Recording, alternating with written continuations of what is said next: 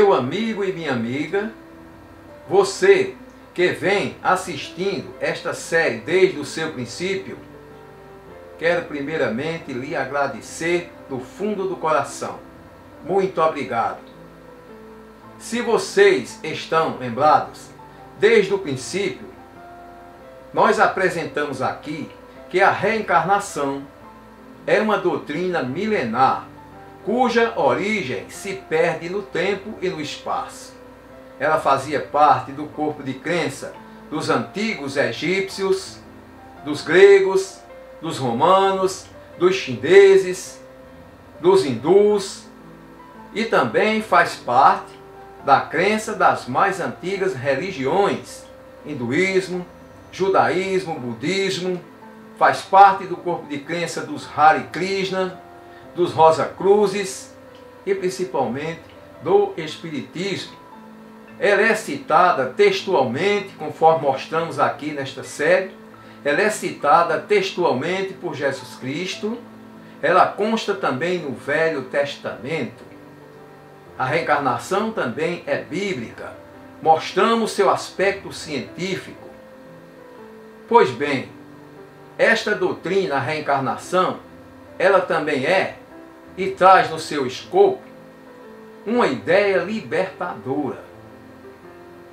A reencarnação nos liberta de velhos e ultrapassados conceitos, pois permite ao espírito caminhar por si só, sem os grilhões que o aprisionam e o condenam.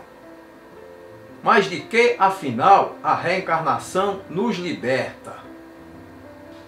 Primeiro, das ideias místicas de céu e inferno, anjos e demônios.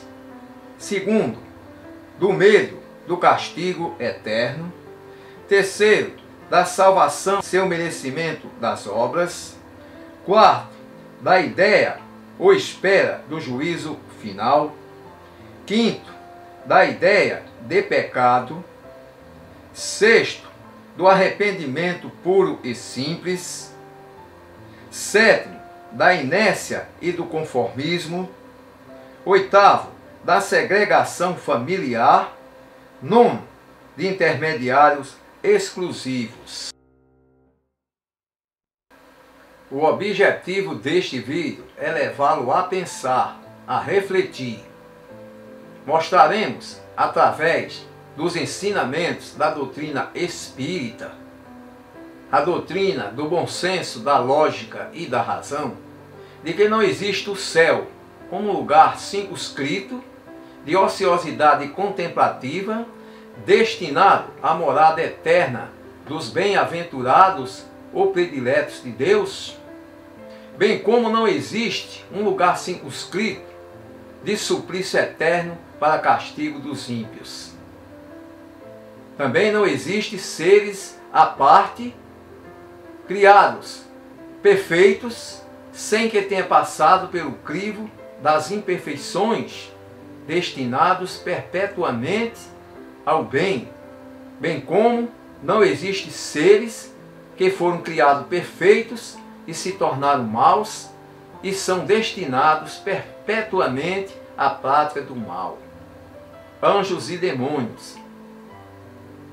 Não existe um lugar de recompensa nem existe um lugar de castigo. No tempo de Moisés e de Jesus, se imaginava que a Terra era o centro do universo.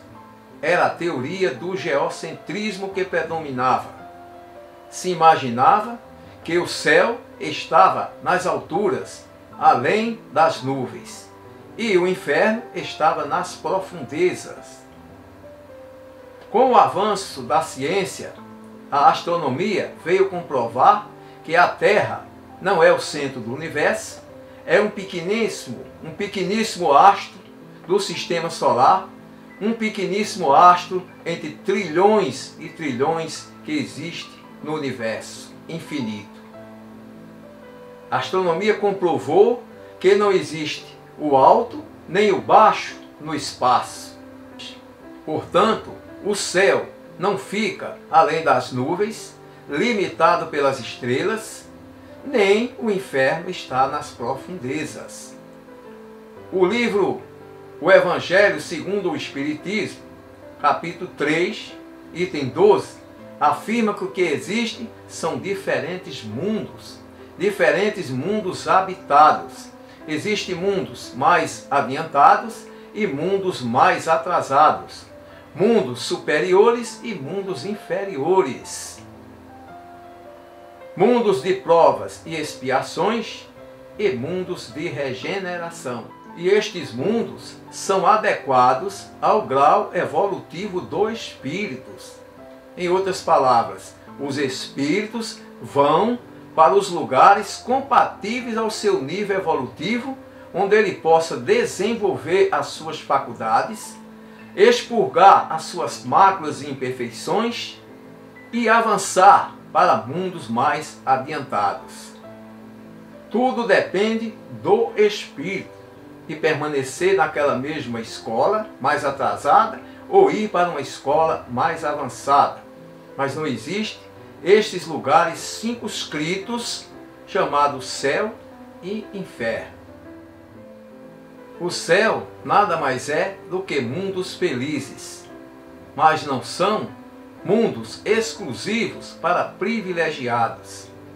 Deus é imparcial e não faz felizes sem fadigas, mas ele fez todos seus filhos partirem do mesmo ponto.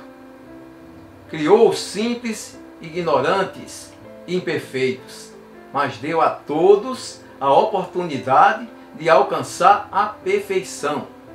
Ele não deu a perfeição a perfeição é preciso conquistá-la através do esforço, expurgando as falhas, evoluindo, aprendendo e migrando de mundos mais atrasados para mundos mais superiores.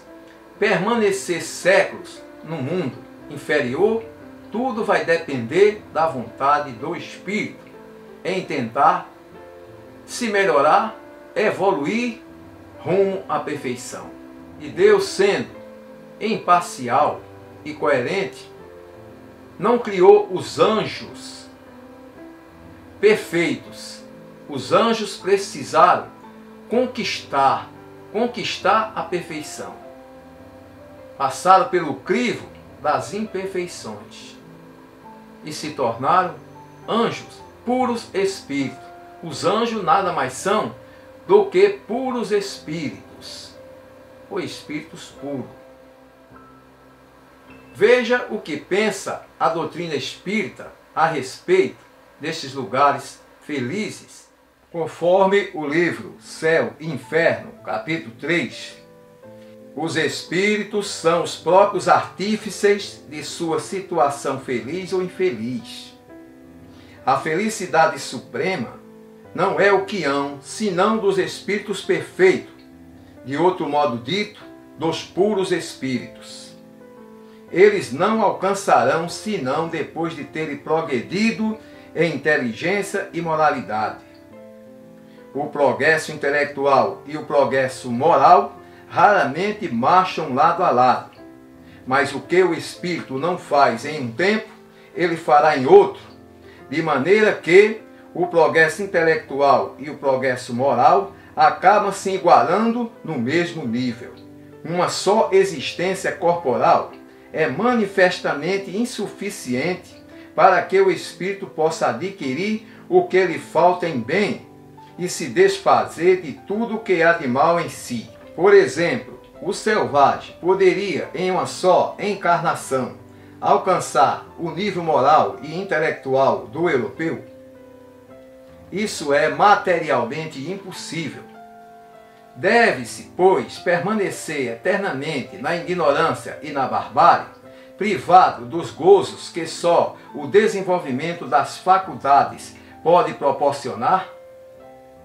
O simples bom senso repele tal suposição, que seria ao mesmo tempo a negação da justiça e da bondade de Deus e da lei progressiva da natureza.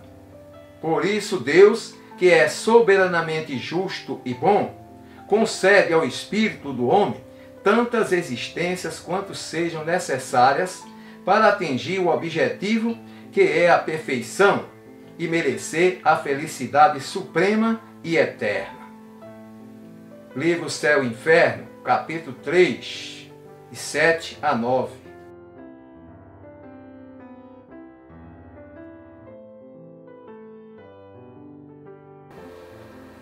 Céus são mundos felizes.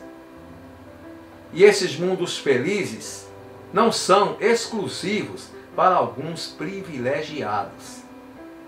Deus é imparcial, não fez felizes sem fadigas. Fez todos seus filhos partirem de um mesmo ponto. Foram criados simples, ignorantes e imperfeitos, mas a todos deu a oportunidade para que todos alcancem a verdadeira felicidade suprema. Ele não nos deu a perfeição. A perfeição precisa ser conquistada através do esforço pessoal, da expurgação de todas as suas máculas e imperfeições e atingir um grau evolutivo que o torne puro, espírito puro. A felicidade suprema destina-se aos espíritos puros. Os anjos não foram criados perfeitos. Eles foram criados em igual situação, mas passaram por todo este caminho de perfeição e se tornarem puros espíritos. Os anjos nada mais são do que puros espíritos. Se tornando perfeitos, eles não poderão mais se tornar imperfeitos. Veja em que consiste verdadeiramente a felicidade suprema. Como o Espiritismo vê a questão da felicidade suprema. A felicidade suprema dos espíritos bem-aventurados não consiste na ociosidade contemplativa, o que seria uma eterna e fantasiosa inutilidade. A vida espiritual, em todos os graus, é, ao contrário, uma constante atividade, mas uma atividade isenta de fadigas. A, a suprema felicidade consiste no gozo de todos os esplendores da criação que nenhuma linguagem humana saberia descrever, que a mais fecunda imaginação não poderia conceber, no conhecimento e na penetração de todas as coisas, na ausência de toda pena física e moral, e em uma satisfação íntima, uma serenidade da alma que nada altera, no amor puro que une todos os seres, por consequência da ausência de toda ofensa pelo contato dos maus, e acima de tudo, na visão de Deus e na compreensão dos seus mistérios revelados e dignos. E o que dizer do inferno? É isso aí, meus amigos e amigas. Se você deseja aprofundar este assunto, eu recomendaria este livro maravilhoso: O Céu e o Inferno, a Justiça Divina segundo o Espiritismo. Aqui é o ensinamento dos Espíritos. Já li este livro várias vezes e recomendaria ele para todas as pessoas independentemente de sua religião ou crença. Penso que as pessoas deveriam, pelo menos, ler este livro uma vez na vida. Pelo menos uma vez na vida as pessoas deveriam ler este livro. Com certeza, uma reflexão profunda, um estudo profundo deste livro maravilhoso, poderá tirar de sua mente muitos velhos conceitos superados, mas que ainda persistem nos tempos de hoje. Este livro, com certeza, lhe ajudaria a mudar a sua concepção de vida, do futuro e da morte, do castigo, do céu ou do inferno, de demônios e anjos. Simplesmente sensacional este livro. A felicidade suprema destina-se somente aos espíritos puros. e a reencarnação é imprescindível nesse processo. Para chegar à condição de puro espírito, o espírito precisa passar por todas as provas e expiações da vida corporal. Somente através da reencarnação, a pluralidade das existências se faz necessária para que o espírito possa evoluir, expurgar as suas faltas e se tornar um espírito puro e merecer a felicidade eterna, ou seja, a suprema felicidade. Os anjos também passaram por esse mesmo processo da imperfeição para chegar a se tornar um espírito puro. Uma só existência, a unicidade de existência, não seria suficiente para que o espírito pudesse alcançar o propósito de Deus, que é a perfeição, se tornar um espírito puro e aí viver eternamente e gozar dos prazeres, dos gozos da felicidade suprema. E o inferno, e os demônios, e o castigo eterno, o pecado, o arrependimento, a salvação pela graça, mas sem o merecimento das obras. Nós vamos tratar desse assunto na segunda parte deste vídeo. Para não se alongar muito e dar tempo para que você assista o vídeo e pense um pouco, nós dividimos esse vídeo em duas partes. No próximo vídeo, a segunda parte, a gente verá uma reflexão sobre o céu, sobre o inferno, sobre o inferno, sobre os demônios, sobre o castigo eterno, o pecado, o arrependimento e o perdão, a salvação a salvação, o juízo final. Aguardo todos na segunda parte deste vídeo da reencarnação que liberta. A reencarnação que liberta. Até lá então e até o nosso próximo encontro.